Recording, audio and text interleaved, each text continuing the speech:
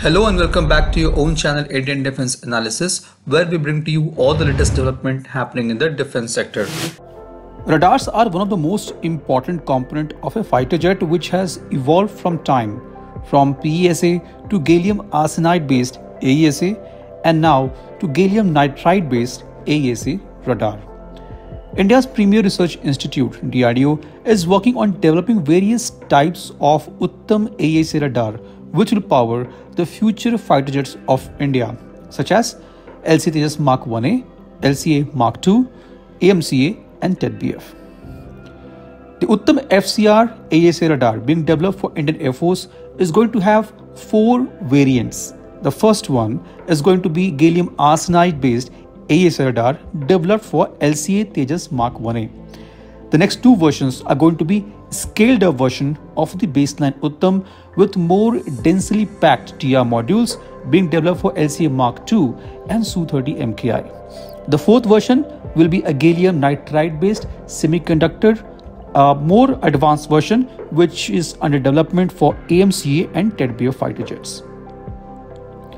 The Uttam AESA radar, which is being developed for LCA Mark 1A, will have 780 TRMs. It is a full solid state gallium arsenide based AESA radar. It has total 8 modes in air to air, air to ground, air to sea roles.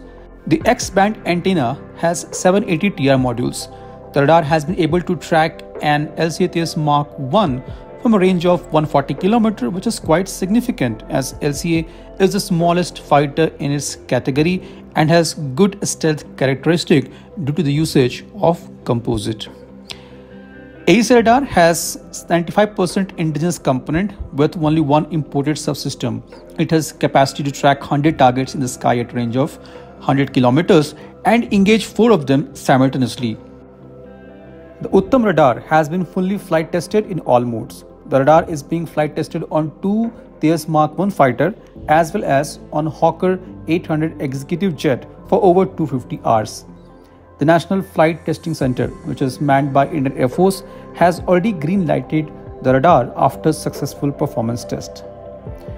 Now, after the successful completion of Uttam AESA radar program on 26 August 2022, DRDO has formally completed the transfer of technology for production of the Uttam radar to Hindustan Aeronautics Limited.